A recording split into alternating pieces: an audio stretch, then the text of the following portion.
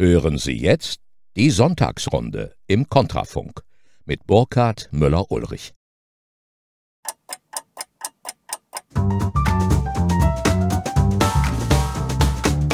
Liebe Hörer, freuen Sie sich, die Regierung schenkt Ihnen eine Stunde und bedanken Sie sich bei Ihrer Regierung, dass sie so großzügig ist, denn die Regierung könnte diese Stunde ja auch einfach einbehalten, so wie die Mehrwertsteuer.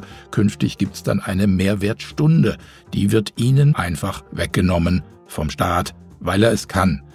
Da ich aber eben vom Bedanken sprach, will ich das zuallererst selber tun, denn, liebe Hörer der Sonntagsrunde, Sie haben mich erhört. Letzte Woche musste ich einen flammenden Appell an Sie richten, weil der Kontrafunk gefährlich knapp bei Kasse war. Und heute darf ich Ihnen sagen, ich bin, nein, wir sind überwältigt von dem Echo und dem Effekt. Sie haben gezeigt, was Ihnen der Kontrafunk wert ist, was unser aller Arbeit Ihnen wert ist. Innerhalb von drei Tagen ist ein komplettes Monatsbudget eingegangen. Wir können jetzt also erstmal weitermachen, das ist das Wichtigste. Wir werden gleichwohl etwas knapper haushalten, das ist nichts Schlimmes, denn der Kontrafunk zahlt von Anfang an und immer noch die besten Honorare von allen alternativen Medienunternehmen und weil es da so viele Mythen und Gerüchte gibt, werden wir eine Transparenzoffensive starten und unsere Kosten- und Einnahmenstruktur für Sie nachvollziehbar machen. Denn ich finde, das sind wir Ihnen, die Sie den Kontrafunk schließlich finanzieren, einfach schuldig. Also, Glasnost und Erntedank beim Kontrafunk. Mehr dazu in meinem nächsten Rundbrief Anfang November. Tragen Sie sich bitte auf unserer Webseite in den Verteiler ein, wenn Sie es noch nicht getan haben. Bevor wir nun an diesem 27. Oktober 2024 zur Sonntagsrunde kommen, hier noch ein Hinweis auf die Winkelmann Apotheken und Pflegedienste. Diese sind Ihre kompetenten Ansprechpartner im nördlichen Sachsen-Anhalt für alle Fragen rund um Gesundheit und Pflege. Die Internetadresse lautet winkelmann-gruppe.de und Winkelmann wird mit CK geschrieben. Zu unserer wöchentlichen Diskussion begrüße ich heute den Germanisten Professor Peter J. Brenner, die Publizistin Silke Schröder und unseren Berliner Politikredakteur Frank Wahrlich. Herzlich willkommen. In der Welt am Sonntag steht heute ein Artikel mit der Überschrift Atteste zur Befreiung von Maskenpflicht, Prozesswelle gegen Ärzte. Darin wird akribisch aufgezählt, wie viele Mediziner wegen des Ausstellens von Maskenbefreiungsattesten auch heute noch verurteilt werden, obwohl ja inzwischen klar ist, dass der ganze Maskenzwang nichts als totalitärer Terror und wissenschaftlicher Schwindel war. Aber wirkt etwas, das man jetzt weiß, und viele sperren sich ja noch wie vor gegen dieses Wissen, wirkt das auf eine früher bestanden habende Rechtslage ein? Ich hätte ja eine andere Überschrift für diesen Artikel genommen, nämlich den berühmten Satz, was damals rechtens war, kann heute nicht Unrecht sein. Herr Brenner, Sie wissen sicher, wo der Satz herkommt. Ja, ich hatte die Ehre, vor ungefähr vier Wochen im Audimax bei Kontrafunk einen Vortrag über die furchtbaren Juristen halten zu dürfen. Die furchtbaren Juristen ist ein Begriff, den Rolf Hochhuth seinerzeit eingeführt hat und der sich sehr schnell durchgesetzt hat. Und in dem Zusammenhang hat der damalige Ministerpräsident Baden-Württembergs diesen Satz geprägt oder soll ihn geprägt haben. Offensichtlich stammt er eher von Spiegeljournalisten, aber das lassen wir mal beiseite. Aber es geht in der Tat um die Frage, wie kann es sein, dass trotz eines enormen Wandels in unseren Wissensbeständen altes Recht wieder angewandt wird oder über den Wandel und den Bruch in unserem Wissen hinaus weiter angewandt wird? Ich habe den Artikel heute auch gelesen. Die Zahlen müssen wirklich genannt werden. Ich habe es nicht glauben können. Es sind über 1000 Verfahren nach diesem Artikel geführt worden in den Jahren 22 bis 24 viele Dutzende und Hunderte von Verurteilungen ausgesprochen, soweit ich weiß, ein einziger Freispruch. Es ging immer nur darum, dass Ärzte in Anwendung ihrer beruflichen Gewissenspflicht und Ausübung ihrer ärztlichen Tätigkeit Maskenatteste, also Befreiungsatteste ausgestellt haben. Und Juristen haben dann offensichtlich in mehreren Anläufen, wir haben das damals ja auch verfolgt, auch Kontrafunk hat ja im Rechtsstaat viele Beiträge dazu gebracht, man hat in mehreren Anläufen die Gesetze und die Rechtsprechung so nachgeschärft, bis sie dann endlich auf die Sachverhalte gepasst haben. Also ist für mich ein unglaublicher Vorgang, der über die letzten Jahre hinweg in der Öffentlichkeit kaum bewusst geworden ist und der jetzt erst durch diesen Artikel in der Welt mal in seiner ganzen flächendeckenden Weite uns offenbar gemacht worden ist. Das ist die eine Seite, diese mediengeschichtliche, dass jetzt auch die Medien diese Dinge wahrnehmen. Nun gibt es darauf zwei Reaktionen, die in dem Artikel genannt werden. Die eine stammt von unserem Vizepräsidenten des Deutschen Bundestages, nämlich Kubicki, der findet das richtig. Was damals Recht war, muss heute auch Recht sein. Und zum anderen gibt es die Reaktion von Sarah Wagenknecht, die die andere Version vertritt. Hier ist eine Amnestie fällig. Und das wäre juristisch die sauberste Lösung, dass man sagt, es ist ein erster Schritt zur Aufarbeitung, dass man die nicht mehr verfolgt, die damals nach bestem Wissen gehandelt haben und die im Nachhinein auch Recht bekommen haben. Also das ist interessant, dass Sie Kubicki erwähnen. Der hat es ja eigentlich immer, ich will nicht sagen, das Maul aufgerissen, ja doch, kann man so sagen, wenn es um absurde Gesetzesvorgaben ging, hat dann aber zum Schluss bei Impfpflicht beispielsweise und so dann doch dafür gestimmt. Also etwas zwiespältiges Bild, das wir hier sehen. Auf der anderen Seite, ja, danke übrigens, dass Sie den Rechtsstaat erwähnen. Da sind wir natürlich mächtig stolz im Kontrafunk. Eine Sendung, die von Juristen bestritten wird, wo wirklich nur Juristen ganz sachlich über die skandalösen Dinge unserer Gegenwart sprechen. Und ein solches skandalöses will ich mal ganz kurz erwähnen. Das ist mir auch gerade erst untergekommen. Wissen Sie, dass jetzt vor einem bayerischen Obergericht, ich weiß jetzt nicht auswendig welches es ist, ein Prozess stattfindet, stattfindet. Und zwar gibt es da eine Sicherheitsanordnung, dass jeder Teilnehmer im Saal eine FFP2-Maske tragen muss. Das ist bitteschön jetzt im November 2024. Man glaubt es nicht, aber es ist tatsächlich so. Also es herrschen da offenbar auch andere Zeitvorstellungen innerhalb dieser Gerichtssäle. Mir war gar nicht klar, dass ein Vorsitzender Richter solche Dinge einfach aus dem Bauch heraus machen kann. Da gibt es gar keine Begründungsnotwendigkeit dafür. Das ist offensichtlich Hausrecht wahrscheinlich, genau. um das es hier geht. Hm. Ja. Mir fiel gerade das Stichwort Parallelwelt, Aufrechterhaltung ein. Darum scheint es ja auch zu gehen. Also wenn wir mit Blick auf die unterschiedliche Handhabung auf rechtsstaatlichem Wege auf diese Nachricht schauen, dann ist das ja nur ein Symptom, das aufzeigt, wie die Deutungshoheit auch über die Fakten hinaus versucht wird beizubehalten. Hm. Und das ist insofern eigentlich sehr interessant. Das sehen wir durch verschiedene Themenfelder, aber beim Thema Corona Aufarbeitung oder Aufrechterhaltung ganz besonders. Die eine Seite ist für die Aufarbeitung, die andere ist für die Aufrechterhaltung eines Regimes, was sich ja selber schon lange aufgelöst hat, was aber sozusagen wieder die Möglichkeit einer Aufarbeitung eben am Leben gehalten werden muss und dadurch künstlich weiter beatmet werden muss. Also ich bin mir da gar nicht mehr so sicher, ob sich die Justiz nicht einfach verselbstständigt hat. Das ist für meine Begriffe einfach nur noch Verfolgungseifer und Rechthaberei, denn es wäre ja ohne weiteres mit einem Federstrich möglich. Juristisch sehe ich da viele Ansatzpunkte, dass man die Ärzte einfach freispricht, was ja öfters mal geschehen ist, oder die Verfahren eingestellt werden. Also ich habe den Eindruck, jeder Einzelfall wird anders sein, aber ähnlich sind sie doch, dass die Justiz hier viele Spielräume hätte und bei gutem Willen auch auf Verfolgung verzichten könnte. Also für mich ist das einfach nur nach Rechthaberei ein System, das in sich gefestigt ist. Ich will den Begriff der furchtbaren Juristen hier nicht überdehnen aber in Einzelfällen, wenn Gefängnisstrafen ausgesprochen worden sind, da hat sich mir das aufgedrängt. Das war übrigens auch der Anlass dafür, dass ich diesen Vortrag vor ein paar Wochen gehalten habe. Die Erinnerung, die vom Rechtsstaat Kontrafunk mir nahegebracht wurde, dass eine Ärztin zu mehreren Jahren Gefängnis verurteilt wurde wegen Maskenattesten.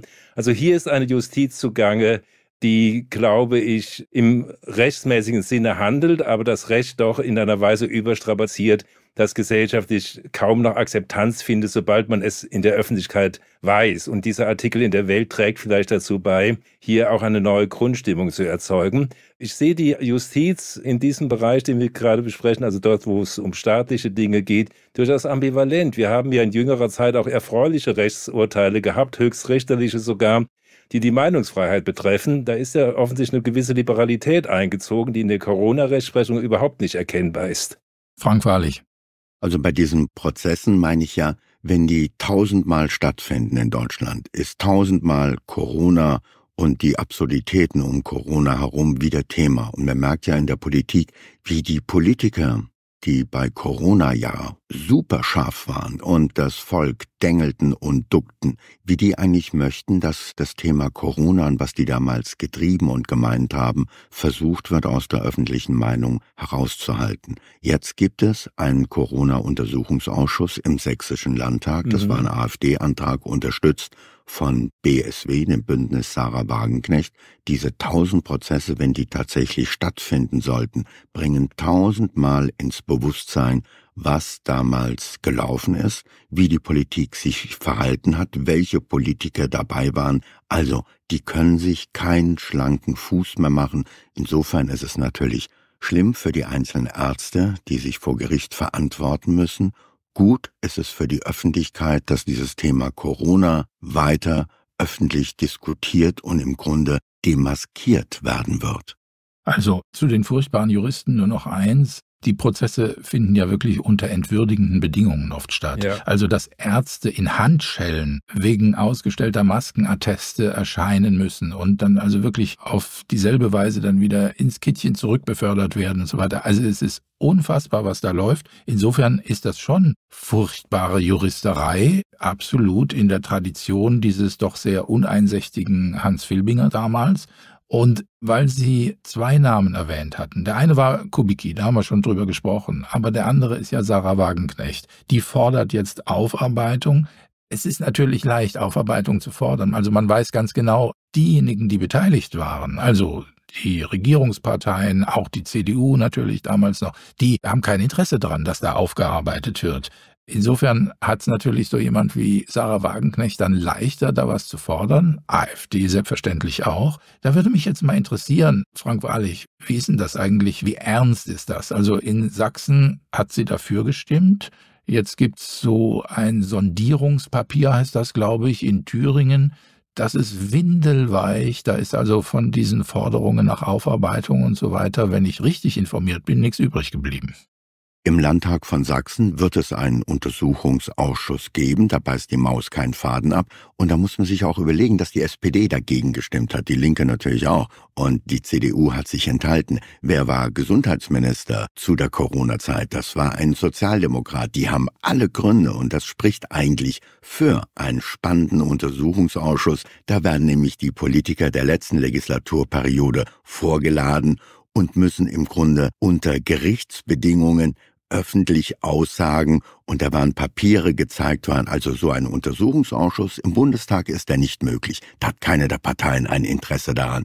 Also fängt man im Kleinen an. Das Kleine ist das Land Sachsen und da hängt's davon ab, die öffentliche Berichterstattung, dass das nicht in Vergessenheit gerät und jeder von uns, wenn er sich dran erinnert an diese Corona-Jahre, weiß, wie die Menschen, auch wir, drunter gelitten haben, wie wir versuchten, die größten Härten zu umgehen und wie wir immer wieder hörten von Freunden und Bekannten, die dieses Leiden, diesen politischen Druck, der da aufgebaut wurde und auch exekutiert wurde, nur schwer aushalten konnten. Und um dieses Wort zu verwenden, da sind viele Leute traumatisiert worden. Das Interesse an so einer Aufarbeitung jetzt in Sachsen wird sehr groß sein und wird auch Auswirkungen darauf haben. Die können sich durchaus auch den früheren Gesundheitsminister der CDU einladen und den ein bisschen grillen und dem Papiere vorhalten. Das ist eine spannende Sache und da kommt man nicht drum herum. Was in Thüringen passiert, das ist so ein Durcheinander. Das sind wie wenn man Puzzlestücke irgendwo hinschmeißt und man weiß gar nicht, wie man die zusammensetzen kann. Und ich glaube auch diese disparate Wagenknecht-Partei, die kommt mit den eigenen Puzzlestücken ihrer wenigen Mitglieder gar nicht zurecht und was da in den jeweiligen Landtagen in Thüringen und in Sachsen, sicherlich auch in Brandenburg verhandelt wird, das hat wenig Gemeinsames. Naja, aber es ist natürlich schon recht unterhaltsam, könnte man sagen. Ja, wenn es nicht so schlimm wäre, wäre es recht unterhaltsam. Wenn es nicht so schlimm wäre, genau. Ich meine, dieser biblische Spruch, die Ersten werden die Letzten sein, das ist ja jetzt etwas, was sich überall in der Politik bewahrheitet. Ob in Thüringen oder in Österreich, die Wahlverlierer triumphieren, die Wahlgewinner landen auf dem Abstellgleis. Für sowas gibt es dann wahrscheinlich wieder Regierungskampagnen mit Titeln wie Demokratie leben. Aber jetzt Scherz beiseite. Wagenknecht scheint ja jetzt die CDU regelrecht vorzuführen. Ne? Also der Thüringer CDU-Chef soll sich von Merz distanzieren. Wie funktioniert das? Wie geht das weiter? Ja, das ist diese Lust an der Macht und diese Angst, die Macht verlieren zu können. Da koaliert auch eine Union mit einer Abspaltung der Linkspartei und Sarah Wagenknecht und ihre Genossinnen und Genossen. Das ist Fleisch der Linkspartei. Noch nicht mal ein Jahr alt. Und es gibt Parteiaustritte aus der CDU. Es gibt CDU-Mitglieder und Funktionäre, die die Hände überm Kopf zusammenschlagen. Es gibt gerade in den Ländern Sachsen und Thüringen Kreisverbände, die sagen, wir wollen nicht mit Sarah Wagenknecht, dann wird er noch Stalinistin oder Kryptokommunistin oder was immer man da an Schmähworten hat, wird er verwandt. Die werden sich dem verweigern. Und man muss auch annehmen, dass bei einer Ministerpräsidentenwahl, sei es in Thüringen oder in Sachsen, dass es da nicht für im ersten Wahlgang alles glatt geht. Das sind Neuankömmlinge, die auch von vielen in der Union nicht gemocht werden und es findet sowas wie ein Abwehrkampf statt. Aber sollte dieser Abwehrkampf in Anführungszeichen erfolgreich sein, was macht die CDU dann? Die möchte ja Ministerpräsident bleiben in Sachsen und in Thüringen. Wo kommen die Stimmen her? Bröckelt da eine Brandmauer?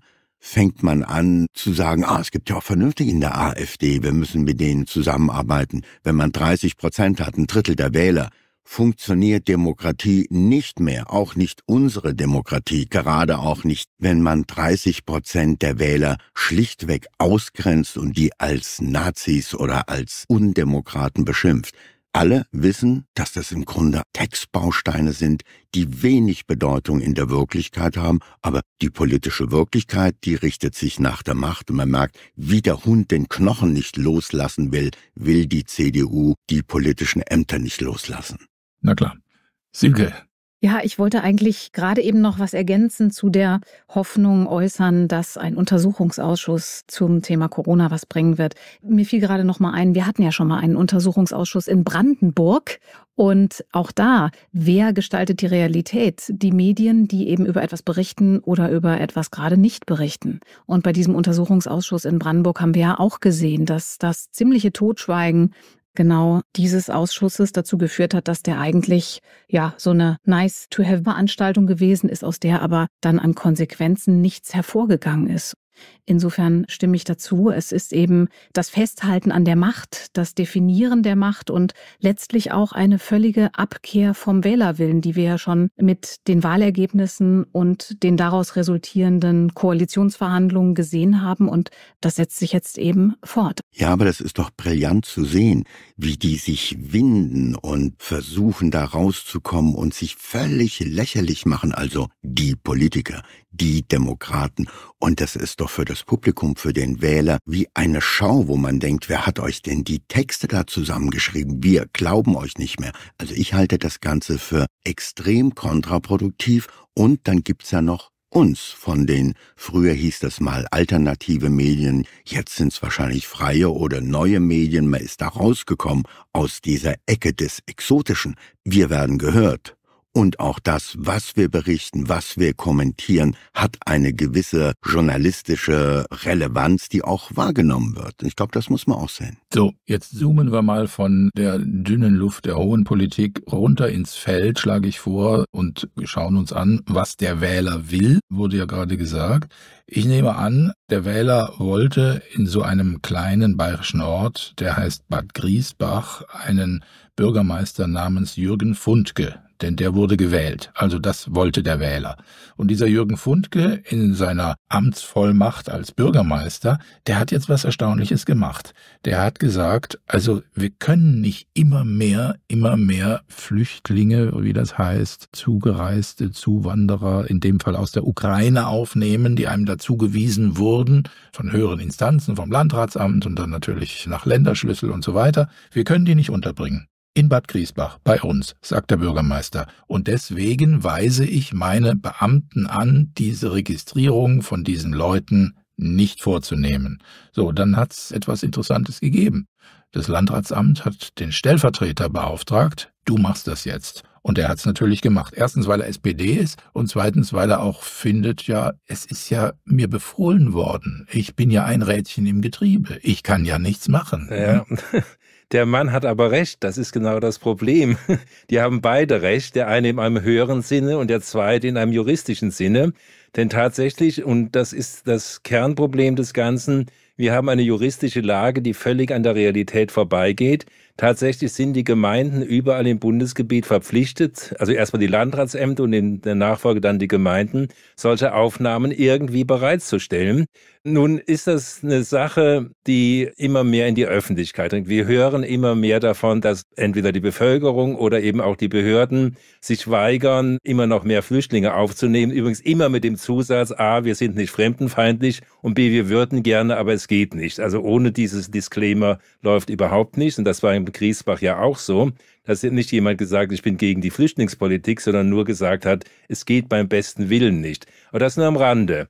Also ich sehe die Sache ambivalent. Natürlich ist es so, dass wir immer mehr darüber lesen, dass einzelne Dörfer, Bevölkerungen oder die Behörden sich weigern oder sich dagegen stemmen. Weigern ist sinnlos, die juristische Lage ist eindeutig und irgendwie muss die Unterbringung gewährleistet werden. Aber im Einzelfall kann eine Weigerung Erfolg haben, wenn man ordentlich protestiert kann es sein, dass nach dem Floriansprinzip die Flüchtlinge dann ins Nachbardorf kommen. Das funktioniert alles. Aber ich bin immer noch nicht sicher, ob diese Meldungen, die wir ja doch fast täglich aus Regionalmedien hören und lesen können, ob die wirklich schon eine Grundstimmung darstellen. Denn ich kenne auch andere Fälle, dass in kleinsten Dörfern die Einwohner immer noch freudig bereit sind, den Menschen helfen zu wollen, die aus Syrien oder Afghanistan kommen, dass man keine Probleme sieht, dass man bereit ist, hier Unterstützung zu leisten und so weiter. Also wir haben ja über fast neun Jahre, zehn Jahre hinweg eine überwiegend positive Willkommenskultur und Aufnahmestimmung in Deutschland gehabt. Die baut sich deutlich ab, aber ich würde immer noch nicht sagen, dass es grundsätzlich so weit ist, dass wir Flüchtlingspolitik als einen Hebel für Mehrheitsbildungen sehen können. Es ist natürlich auch eine Industrie geworden. Es ist nicht nur eine Kultur. Ja, ja, also ich habe es hier im Ort hautnah erlebt, wo ein privater Hausbesitzer ein Haus, man muss sagen, Luxus saniert hat, das sofort in drei Tagen, also am 1. November, in Besitz genommen wird von 75 Flüchtlingen aus Afghanistan und Afrika, so ist im Augenblick die Informationslage, wurde im Vorfeld ausgesprochen minimalistisch behandelt in der Öffentlichkeit. Vor drei oder vier Wochen hat es eine öffentliche Sitzung gegeben, wo ein paar Informationen gegeben wurden, die übrigens überwiegend offensichtlich von Grünen und zustimmenden Anhängern besucht wurde die die Flüchtlingspolitik nach wie vor gut finden. Daher eben auch meine skeptische Einschätzung. Und die simple Frage, ja, was kostet das? Was bekommt der Hausbesitzer an Miete? Hieß die ortsübliche Miete. Und dann auf Nachfrage hieß es dann plus 25 Prozent. Wir sind hier in der Region von München, wo es ein Wohnnotstandsgebiet gibt mit Kappungsgrenzen für Mieterhöhungen, mit Sonderkappungsgrenzen. Also man kann hinschauen, wo man will. Diese Politik ist immer noch sehr präsent und sie wird irgendwann kippen. Das kann aber noch ein, zwei Jahre dauern. Je näher diese Flüchtlingsheime an die Schulen, an die grünen Wohnviertel reichen, desto heftiger wird der Widerstand werden. Und der wird dann auch funktionieren, weil er dann an die Schaltstellen der Macht heranrückt. Ja, da habe ich ein Beispiel auch aus Oberbayern, aus Seeshaupt am Starnberger See. Da kam die Landesregierung Bayerns, hatte dort ein Grundstück und sagte, da bauen wir eine neue Siedlung für Migranten, heißt das auf. 200.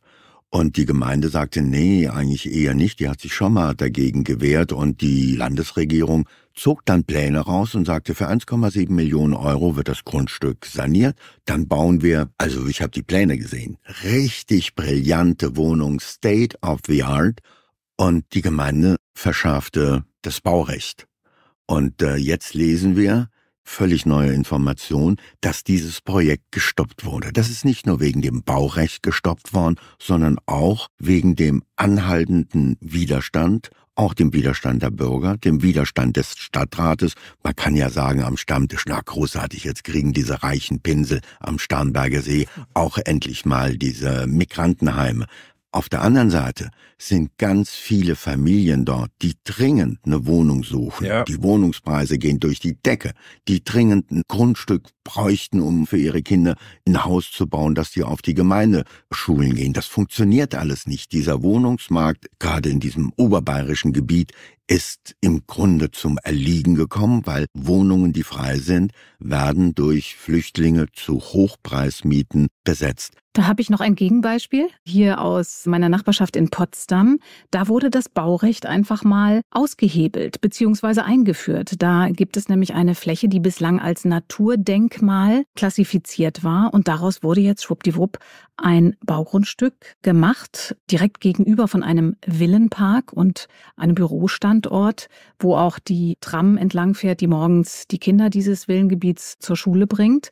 Und da haben sich die Anwohner nicht nur sehr aufgeregt, sondern haben sich auch spitzenanwaltliche Hilfe besorgt, allerdings bislang ohne Ergebnis. Also man wünscht sich natürlich immer, dass der bürgerliche Protest in der Tat Wirkung zeigt. Ich würde an diesem Beispiel jetzt sagen, das ist nicht immer der Fall. Und auch in Potsdam oder hier in Berlin haben wir natürlich eine Situation, wo der Wohnungsmarkt so überfüllt ist. Wir haben eigentlich eine Pattsituation, wo nichts mehr geht, wo es mittlerweile schon Wohnungen in großer Zahl gibt, die am Schwarzmarkt angeboten werden, mhm. um dieses Bestellerprinzip auszuhebeln und Leuten, die eben tief genug in die Tasche greifen können, noch einen Weg ermöglicht wird, um überhaupt ein neues Mietverhältnis zu begründen. Das hat natürlich nichts mehr mit Rechtsstaatlichkeit oder einer funktionierenden Wohnungswirtschaft zu tun. Aber das sind eben Beispiele, die zeigen, an welchem Limit wir uns mittlerweile schon bewegen. Ja, an manchen Universitätsstädten sind die neuen Studenten in der Turnhalle untergebracht.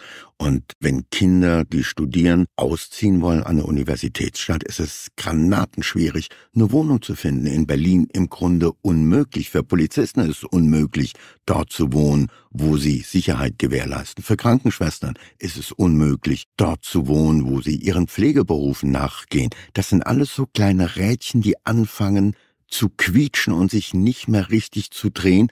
Im Lauf der nächsten Monate wird sich das immer weiter aufschwingen und es wird deutlich werden. Das mit den Turnhallen fand ich interessant, weil bislang wurden ja in den Turnhallen vor allem Migranten untergebracht, aber jetzt muss man mal in sehen. In München waren sogar Campingplätze, auf die, also die den Studenten ja, angeboten wurden. Wer ist der Jahr. Stärkere in dem Fall? Ja. Aber vielleicht kommt ja der Kieler Sozialdezernent Gerwin Stöcken, SPD, mal nach Potsdam oder in diese anderen noblen Viertel, wo die Leute jetzt, äh, wie sagt Frank Wahrlich, quietschen, weil sie da neue Flüchtlingsunterkünfte vor die Nase gesetzt bekommen. Denn der der Herr Stöcken, der hat was Schönes gesagt. Er hat den Leuten nämlich empfohlen, sich doch mal aus dem Haus zu trauen und mit den als Roma Gelesenen zu reden. Gut, so viel zum Zynismus mancher Politiker. Aber ist es nicht sowieso die Situation, die wir schon haben? Also politisch geschaffene Probleme werden privatisiert, indem man eben ja auch einfach sagt, ihr müsst damit klarkommen. Also wer eben als Frau nachts in einen Bus steigt oder in die U-Bahn, der kann eben Glück oder Pech haben, aber der muss eben selber entscheiden, ob er das sicherheitstechnisch noch verantworten möchte oder nicht. Es ist nicht nur ein ungeheurer Kontrollverlust, sondern eben eine Privatisierung von politischen Fehlentscheidungen. Und inzwischen können die Zugbegleiter auch selbst entscheiden, das war in einem genau. ostdeutschen Bundesland in Thüringen, glaube ich, ob sie es für richtig halten, Passagiere zu kontrollieren oder nicht, oder ob ihnen es zu gefährlich erscheint, jemanden nach dem Fahrschein zu fragen. Das liegt jetzt in der Entscheidungsgewalt des einzelnen Zugbegleiters. Ja, aber das, Herr Brenner, mhm. ist ein Beispiel für einen umgedrehten Rassismus. Er ist dann natürlich klar, wen die nicht nach der Fahrkarte fragen und wen sie stattdessen nach der Fahrkarte fragen. Ja, mich zum Beispiel, ja. Vielleicht noch eine Bemerkung dazu. Also erstmal mit dem Baurecht. Das wurde übrigens vor Jahren schon abgemildert im Zuge der Asylgesetzgebung, dass man Brandschutz, glaube ich, und Dämmvorschriften deutlich reduziert hat in bestimmten Bauvorhaben. Aber ich wollte noch was anderes sagen. Wir hatten eben Wagenknecht zum Thema, die ja bestimmt einen großen Teil ihres Wählererfolgs durch ihre kritischen Aussagen zur Flüchtlingspolitik bekommen hat. Wenn wir aber genau hinschauen, dann sehen wir, dass auch hier in der Wagenknecht-Partei oder dem Bündnis auch noch Stimmen gibt, und zwar prominente Stimmen, die das ganz anders sehen. Also wenn wir an die Katja Wolf denken, die in Thüringen Vorsitzende ist und die jetzt auch Regierungsämter anstrebt, die vertritt eine deutliche, wenn auch nicht sehr laute Gegenposition beim Thema Flüchtlingspolitik zu ihrer Parteivorsitzenden. Also dort ist immer noch die alte linke Position präsent. Wir haben Platz. Also das ist keineswegs so, dass insgesamt schon die Stimmung in die Richtung weist, über die wir gerade gesprochen haben. Es gibt immer noch Akteure, sowohl in der großen Politik wie eben auch regional und lokal, die den Schuss noch nicht gehört haben, obwohl er ja nun wirklich laut genug ist, beziehungsweise oft sind es ja nur Messerstiche, die hört man nicht so. Hm. Ja, aber da habt ihr die beim Parteitag der Partei Die Linke, da wurde auch gesagt, wir müssen ein Bündnis schließen mit der Arbeiterklasse und dem Proletariat und dazu gehören auch die Migranten in diesem Land, mit denen müssen wir zusammen diesen Staat komplett verändern. Also diese Idee gibt es noch in der Linken und die wird natürlich auch im Teil bei Sarah Wagenknecht sein.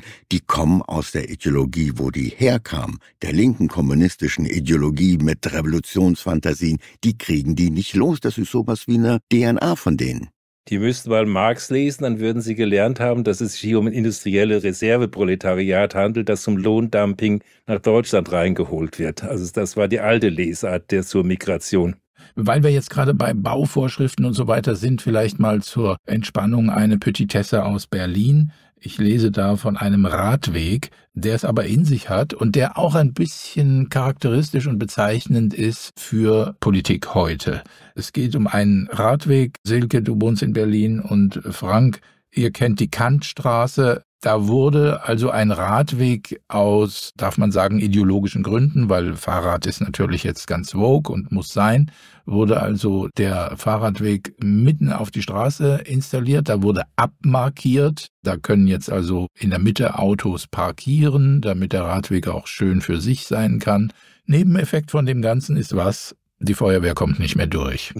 Vor allen Dingen wurde zunächst mal aus einer zweispurigen Straße eine einspurige gemacht. Und da das eine der Hauptachsen ist, die in die Stadt reinführt, mit erheblichen verkehrstechnischen Ergebnissen. Und dieser Radweg, der da geschaffen wurde, der ist also nur ganz, ganz schwach frequentiert. Aber das stört natürlich nicht, wenn man ideologische Ziele vor Augen hat. Und in der Tat ist es so, dass sozusagen an der Häuserzeile ein Radweg jetzt entlang führt und dann kommt eine Parkreihe und dann eben die einspurige Straße, so dass es, wenn jetzt irgendwo in einem Haus ein Feuerwehr- oder Krankenwageneinsatz äh, nötig ist, das Rettungsfahrzeug natürlich nicht durch die parkenden Autos hindurchkommen kann und es kann auch nicht auf der einspurigen Straße halten, sondern es müsste dann eigentlich über den Radweg und das geht natürlich nicht. Erstaunlich ist, dass man über solche Szenarien vorher nicht nachgedacht ja. hat und jetzt die Konsequenz war, dass man überlegt, überlegt hat, die Anwohner umzusiedeln. Genau, jetzt kommt der eigentliche Clou. Aber nur aus den oberen Stockwerken. Genau, weil die mit der Rettungsdrehleiter da nicht mehr an die oberen ja. Stockwerke kommen. Weil sie ihre Stützen nicht mehr ausfahren können. Ne? Also da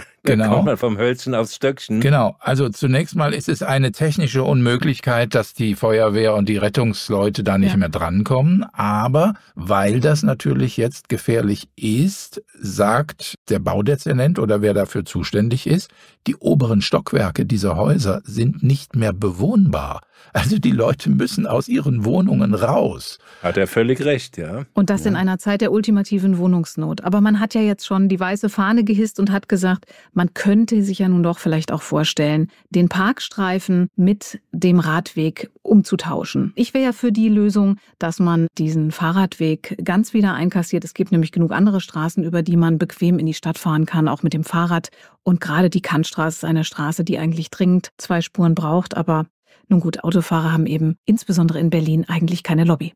Wenn alles so funktioniert, wie man es erträumt, hätte ich ja früher gesagt, okay, dann können sie Flugtaxis schicken. Jetzt ist dummerweise die Firma, die diese Flugtaxis baut, gerade pleite gegangen, haben Sie vielleicht gehört. Also ist keine Option, jedenfalls nicht für die Lösung der Berliner Kantstraße. Nachdem sie 1,5 Milliarden Euro versenkt haben. Ja. Die Firma Lilium, die da jetzt Insolvenz angemeldet hat. Ja, das Geld ist nicht versenkt, das ist nur woanders. Wo wir gerade bei versenktem Geld sind, können wir eigentlich gleich weitermachen. Die Steuerschätzung sagt, es gibt jetzt leider 12,7 Milliarden weniger zum Verteilen für den deutschen Finanzminister. Summiert bis 2028 sind das dann 58 Milliarden.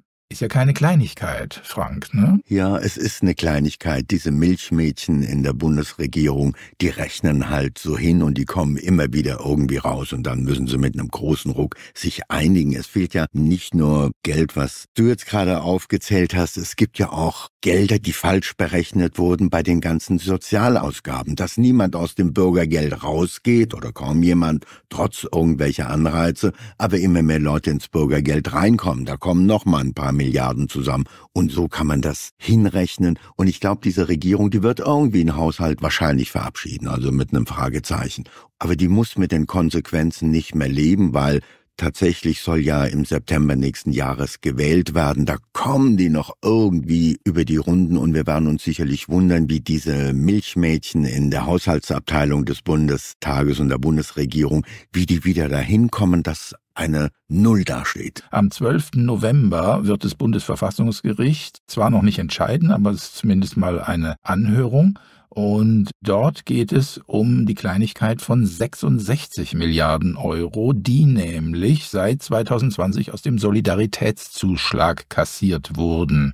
Und im Zweifelsfall könnte es passieren, dass die Bundesregierung diese Einnahmen dann wieder zurückerstatten muss, wenn das nämlich es geht ja da um diese zum Wiederaufbau der damaligen DDR eingeführten Ergänzungsabgabe, ob das überhaupt ab 2020 noch rechtmäßig erhoben werden durfte. Ja, aber was wird das denn für Folgen haben, wenn das Bundesverfassungsgericht jetzt einen entsprechenden Beschluss fasst und sagt, das Geld darf dafür nicht verwendet werden oder muss zurückgezahlt werden? Dann wird man eben anderswo Schulden aufnehmen. Diese Urteile des Verfassungsgerichts haben da offensichtlich überhaupt keine Konsequenz. Wenn jemand dagegen verstößt, kommt er nicht ins Gefängnis, er wird vielleicht öffentlich ein bisschen geächtet, aber dann findet man eben Sondervermögen und diese Milliarden, über die wir jetzt reden, die sind doch lächerlich. Unser Wirtschaftsminister rechnet ja inzwischen in Billionen. Ich hatte jetzt eine neue Idee, dass wir eine halbe Billion Euro an Investitionsfonds, heißt das, jetzt aufnehmen sollen, was im Ende ja auch nichts anderes als Schulden sind und ein Bruch des entsprechenden Verfassungsgebotes. Aber diese ganzen Urteile, über die wir uns hier freuen und die wir wahrscheinlich auch kommen werden oder auch nicht, das ist im Grunde völlig gleichgültig. Irgendwo kommt das Geld immer her, nämlich per Schuldenaufnahme. Und dann findet man einen anderen Namen dafür. Dafür haben wir ja einen Germanisten in der Regierung, der dann neue Begriffe erfindet. Und dann ist es eben keine Schulden mehr, sondern ein Sondervermögen oder was auch immer. Ja, aber das ist ja ein Zeichen dafür, wie weit die durch den Wind sind.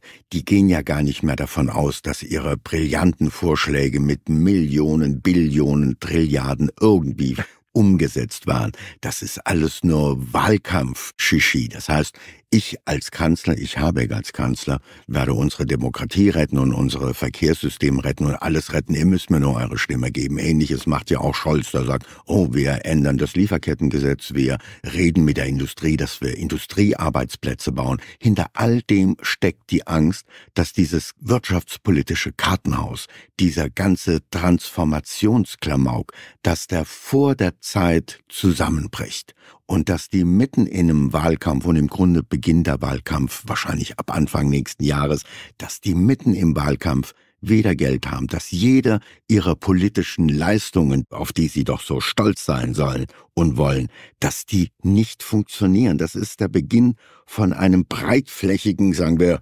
Offenbarungseid, was wir sehen. Und das, was ein Habeck, ein Kanzler oder ein Lindner sagen, so retten wir die Wirtschaft, das ist ein Teil dieses, wir wissen im Grunde gar nicht mehr weiter, wie es geht. Silke Schröder. Ja, und Offenbarungseid würde ja so einen Rest von Gewissen voraussetzen. Da okay. habe ich also so ein bisschen meine Zweifel, wenn man jetzt in dieser Woche Olaf Scholz gesehen hat, zu Gast war, ich glaube, es war Maybrit Illner, wo er ja auch absolut kaltschneuzig die äh, Vorwürfe über den Zustand des Landes an sich hat abperren lassen und dann immer nur darauf verwies, na ja, wir dürften auch nicht vergessen, Putin und der Krieg und wer da schuld sei und so weiter. Habeck, der natürlich auch ganz klar immer mehr in eine Staatswirtschaft eben übergehen will. Also mhm. das ist ja so eine Mischung aus Vorsatz, also ideologischer Unausweichlichkeit. Es muss ebenso sein, weil es in eine vermeintlich bessere Zukunft führt, auch über Schulden, sogenanntes Sondervermögen. Auf der anderen Seite glaube ich aber auch über eine gewisse Gewissenlosigkeit. Ja, aber Silke, glauben Sie, dass die Bürger denen noch glauben? da ist ja ein Vertrauensverlust, da ist ja enorm. Das, was die machen, die sprechen ihre Rollen und sagen, großartig, ein super Auftritt, ein toller Monolog, den ich gehalten habe. Und das Publikum denkt, was redet ihr da? Ich glaube, das funktioniert nicht mehr. Ja, das ist ja richtig. Aber die Frage ist doch, wie würde es unter einem Kanzler Merz wirklich anders? Also aus diesem Interventionismus, aus dieser Staatswirtschaft, das ist ja jetzt nicht nur das Resultat der Ampel der letzten Jahre. Ich meine, dahin ja. hat uns ja auch Frau Merkel schon in den Anfängen gebracht. Glauben wir wirklich, selbst wenn die Wähler jetzt sagen, oh, dann wählen wir eben doch mehrheitlich CDU, dass sich daran, an diesem grundsätzlichen Kurs einer ideologischen Politikausgestaltung mit immer immer größerer Verschuldung, die einen Kampf gegen die Wirklichkeit darstellt. Glauben wir, dass sich da etwas dran ändert? Es sei denn, der AfD würden so viele Wähler zulaufen, dass sie eine absolute Mehrheit kriegen würde, was ja ausgeschlossen ist. Wie soll sich daran etwas ändern? Also da fehlt mir wirklich die Fantasie. Alles eine Frage der Zeit. Ja, genau. Aber Peter Brenner hat natürlich seinem eingeübten Pessimismus gerade Raum gegeben. Vorhin hat er gesagt, nein, nein, es sind immer noch genügend Leute vorhanden, die finden den Migrantenansturm toll. Äh, jetzt hat er mit einem klaren Ja gesagt, es gibt aber auch genügend Leute, die das alles glauben, was ja. die Politiker da mhm. sagen. Also Herr Walig, ich glaube, Sie hören so viel Kontrafunk. Hm. Ich bewege mich auch noch in anderen Milieus. Also ich bin sozusagen ein Wanderer zwischen beiden Welten.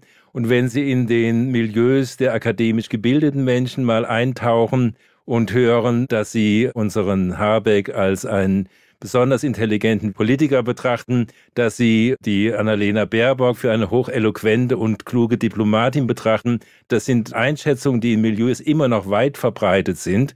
Und irgendwo kommen die Stimmen ja her. Es werden weniger, das ist richtig.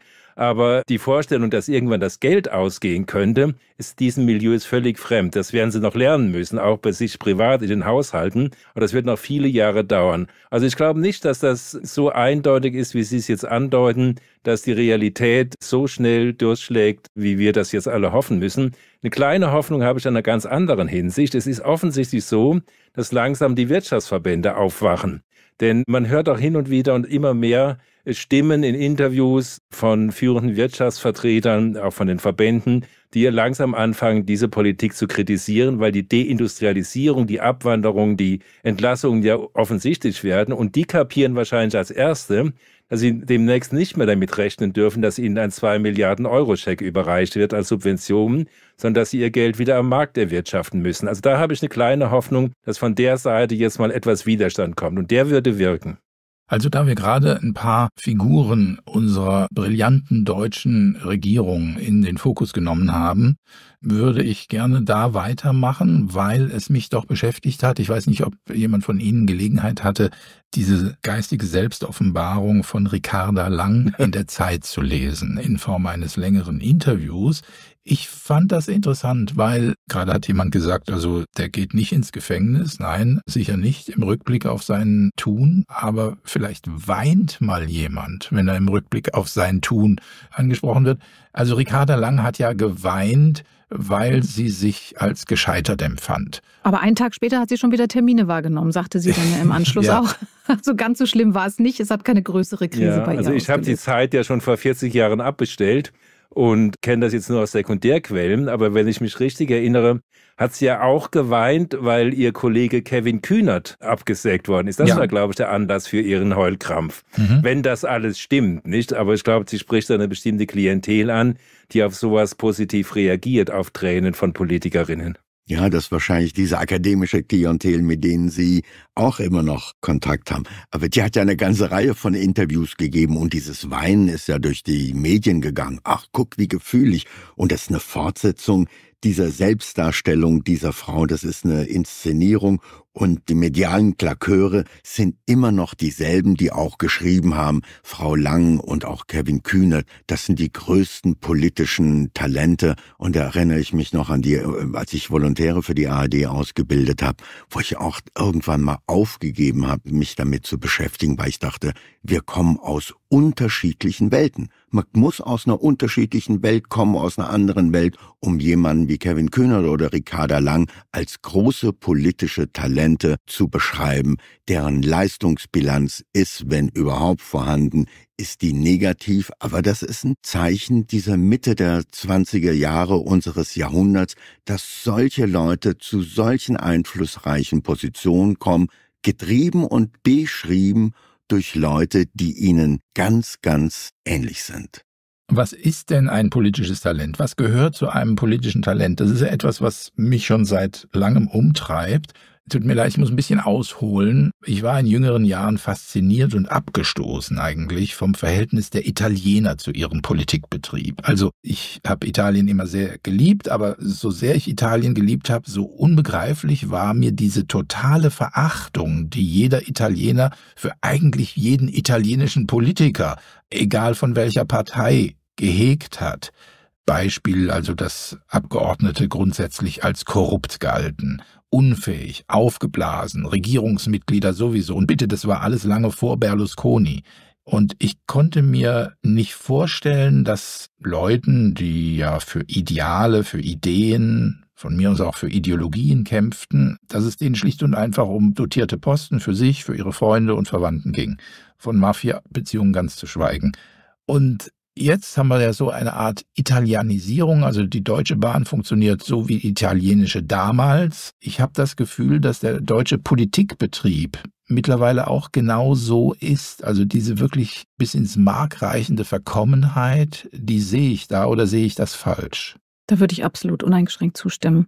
Und ich glaube, das hat einfach auch damit zu tun, dass sich Politiker heute andere Bühnen suchen können. Sie müssen sich eben nicht mehr ihren Wählern stellen. Sie müssen eben keine Verantwortung mehr in dem Sinne tragen. Also wir hatten ja eben schon das Thema, was hat heute eigentlich an politischen Fehlentscheidungen noch Konsequenzen? Sondern Politiker suchen sich andere Bühnen, wie zum Beispiel auf dem Weltwirtschaftsforum in Davos. Und dadurch entstehen Parallelwelten oder auch Fluchträume, die eben ermöglichen, dass keine Konsequenzen mehr eingefordert werden oder dass man die eigene Linie oder die mit den eigenen Fehlentscheidungen einfach ein weiter so praktizieren kann. Peter Brenner? Ja, also ich sehe das auch so, dass das ein ganz neues Phänomen ist, was Sie jetzt beschrieben, der Nepotismus, auch die Bereitschaft zur persönlichen Bereicherung, nur auf den persönlichen Vorteil zu achten. Das sind auch Phänomene, die eigentlich erst in den letzten Jahren sichtbar geworden sind. Das hat man ja nicht mal der Angela Merkel nachgesagt, nicht, dass sie irgendwelche außer Machtambitionen andere Ambitionen gehabt hätte. Das ist auch deutlich anders geworden, interessanterweise mit dem Einzug der moralsauren Grünen in die Politik. Wir haben natürlich früher auch Skandale gehabt, Spendenskandale, die die Republik erschüttert haben. Aber da ging es ja nicht um persönliche Bereicherung, hoffe ich zumindest, sondern eben immer um die Partei. Die einzige Ausnahme, die man wirklich immer vorgeworfen hat, er bereichert sich persönlich, ist nie bewiesen worden, ich will nichts unterstellen, war Franz Josef Strauß. Aber der war ja ein Ausnahmetalent in vielerlei Beziehungen. Aber ich glaube wirklich, wir erleben einen Politikbruch, einerseits mit diesem Phänomen persönliche Bereicherung. Eine andere Frage hätte ich an unseren Hauptstadtkorrespondenten, an Herrn Wahrlich. Also ich komme da nicht ganz klar mit. Was bedeutet es, dass jetzt die Generation Kevin und Ricarda so sang- und klanglos und völlig mitleidlos abgesägt worden ist? Das waren ja offensichtlich bei den Grünen interne Machtkämpfe. Habeck hat sich durchgesetzt. Aber da ist doch eine Generation abgesägt worden, die ja mal als Zukunfts- und Hoffnungsgeneration angetreten ist. Hat das irgendeine weiterreichende Bedeutung, die über die beiden Personen hinausgeht? Naja, vielleicht, dass man darauf achtet, auch in Zukunft, dass Leute mit einer gewissen Lebens-, Berufs- und Studienerfahrung politische Verantwortung übernehmen. Ich weiß nicht, ob die alle ihren Max Weber gelesen haben, was zeichnet ein Politiker aus, aber es gibt einen Unmut über so viele geschwätzige, wortgewaltige Dilettanten in der Politik und es wird immer öfter gefragt, was hat er denn gelernt? Oder oh, hat ja nichts gelernt. Und ich glaube, da achten die Parteien mittlerweile darauf, dass gerade bei den Grünen die schrillsten Figuren von der Bühne abgezogen werden. Ricarda Lang gehört dazu. Dann gibt's noch eine junge Dame, die immer einen aufgeräumten Schreibtisch hat, weil sie nichts zu tun hat, außer Tanzvideos zu machen. Ja. Ich glaube, diese Lustigkeit in der Politik, und das gilt für alle Parteien, die nimmt langsam ein Ende, aber mhm. wirklich nur langsam. Bei der SPD zum Beispiel bekommt man diese Leute, die sagen, oh, ich war Straßenmusikerin, ich war als Postbotin gearbeitet, jetzt bin ich SPD-Vorsitzende, die werden wir alle noch eine Zeit lang ertragen, aber darauf achten, was sind das für Leute, die uns vertreten, diesen noch reichen Staat, dieses noch einflussreiche Land vertreten, können die das? Können die diese Verantwortung eigentlich übernehmen? Und da merkt man, jetzt muss ich was zur AfD sagen, dass da ganz viele Leute, und das macht ja auch ihre Oppositionsarbeit aus, dass die nicht in der Politik groß geworden sind, sondern die sind in einem bürgerlichen Leben groß geworden, fast alle mit einer Ausbildung, mit einer beruflichen Karriere und dann in die Politik gegangen. Das macht die anderen von den Grünen, von den Linken auch so garstig der AfD gegenüber, weil oft kommen Reden im Bundestag, da merkt man, die Leute wissen, wovon sie sprechen. Bei anderen merkt man, das ist Ideologie, was da vor sich hin blubbert. Also es wäre eine Hoffnung auf eine Professionalisierung. Genau, ja. Vielleicht, ja. Wobei man die bei den Grünen ja nun gerade wirklich mit den noch existierenden Spitzenakteuren ja nun wirklich nicht erkennen kann. Also ich meine, Annalena Baerbock gab es ja jetzt auch wieder gerade neue Nachrichten, da können wir auch noch drüber sprechen. Oder auch Habeck, dessen Statements zum Thema Bekämpfung von sozialen Medien ja nun auch die letzten Tage verstärkt über X geisterte. Also gerade bei diesen beiden Akteuren, das sind ja nun die Vertreter der nicht professionellen Klasse beziehungsweise derer, die eben Vetternwirtschaft und Amtsmissbrauch eigentlich zur Exzellenz getrieben haben. Naja, wenn die aus der Politik abgezogen werden, dann haben sie vielleicht noch eine große Karriere in den Medien vor sich, also zumal in den öffentlich-rechtlichen. Aber ich merke schon, unsere Sendung ist sehr Berlin zentriert diesmal. Bleiben wir deswegen dabei und äh, vielleicht noch eins. Ja, das würde mich von unserem Germanisten jetzt tatsächlich mal interessieren. Kennen Sie den Ausdruck fette Beute und ist das Nazi? Ja, ich habe das auch mitbekommen. Ich glaube, das ist aber eher was für Sportwissenschaftler. Also der Berliner Zweitligaverein Hertha BSC Berlin hat einen seiner treuesten Fans jetzt öffentlich geächtet und an den Pranger gestellt. Sein Schlachtruf war während der Spiele einfach fette Beute. Und da habe ich jetzt lernen müssen, indem ich das jetzt verfolgt habe in den Medien, dass das offensichtlich auch ein Nazi-Ausdruck sein soll. Und den Germanisten fragen sie hier völlig zu Unrecht. Ich habe keine Ahnung, wie man darauf kommt. Offensichtlich hat auch sonst niemand eine Ahnung. Also es wurde ja mehrfach die Frage gestellt, wie lässt sich das belegen von der Medienpressestelle dieses Vereins wurde das offensichtlich dann als Nazi-Propaganda gewertet, aber die Rückfragen von verschiedenen Medien, ja, woher kommt das? Wo sind die Dokumente? Wie kann man das nachweisen, quellenmäßig? Ist bis jetzt offensichtlich ohne Antwort geblieben.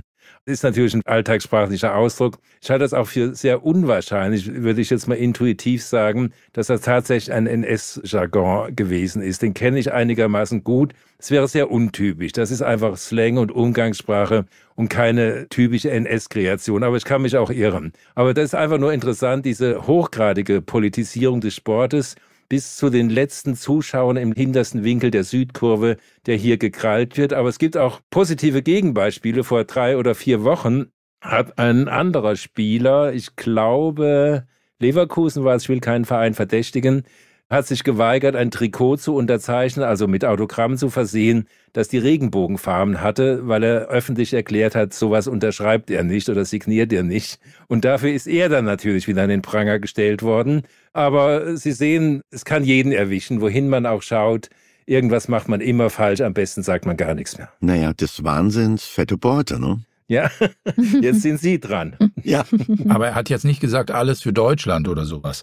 Ne? Also es ist im Grunde dasselbe man greift irgendwas raus, skandalisiert es, augenrollend, bläst die Backen auf, behauptet, es sei Nazi, weil irgendein Nazi hat das wohl auch mal gesagt, kann ja sein. Ja, aber hier muss man wirklich fragen, warum? Also bei dem anderen mit dem Trikot, das ist völlig klar, das war ein Tabubruch, sowas macht man nicht. Aber wer hat da ein Interesse ran? Irgendeinen völlig harmlosen, wir haben die Bilder gesehen, das ist so ein gemütlicher, dicker, älterer Herr, mit langen Haaren, der da seinen Lebenszweck offensichtlich drin sieht, die Tore von Hertha BSC zu bejubeln. Wer hat ein Interesse daran, eine solche völlig belanglos und bisher von niemandem als anstößig empfundene Äußerung zu verfolgen? Also da ist ein Rädchen im Getriebe losgetreten worden oder hat sich gelöst und da ist irgendein Mechanismus in Gang gesetzt worden, den keiner mehr aufhalten konnte. Naja, bestrafe ein, erziehe 100. Da hat man eine ganz schwache Person gefunden, der offenbar was Richtiges, was Falsches oder irgendwas gesagt hat und der bekommt die volle Breitseite ab. Das erzieht ganz, ganz viele Menschen, dass sie sagen, oh, am besten sage ich nichts. Aber wirklich nichts mehr, denn das Wort ist ja nur völlig unverdächtig gewesen und da müssen wir wirklich völlig den Mund halten. Faszinierend. Das würde sich natürlich negativ auf die Sonntagsrunde auswirken. Ich hoffe, wir sind noch nicht ganz so weit. An diesem Sonntag können wir jetzt den Mund halten, denn das war sie schon, die Sonntagsrunde am 27. Oktober 2024. Und ich danke Peter Brenner, Silke Schröder und Frank Wahrlich. Und Ihnen, liebe Hörer, danke ich nochmals für die finanziellen Zuwendungen. Ich glaube, ich werde mir in den nächsten Tagen die Finger wund schreiben, um all denen zu danken, von denen ich eine Adresse oder wenigstens eine E-Mail-Adresse habe. Ich bin mir natürlich auch bewusst, dass wir einen solchen Hilferuf nicht jede Woche machen können. Aber es ist, glaube ich, wichtig, dass jeder weiß, dass es keine Selbstverständlichkeit ist, dass der Kontrafunk Woche um Woche sendet. In diesem Sinne wünsche ich jetzt allen eine schöne, soeben um eine Stunde verlängerte Woche. Ihr Burkhard Müller-Ulrich.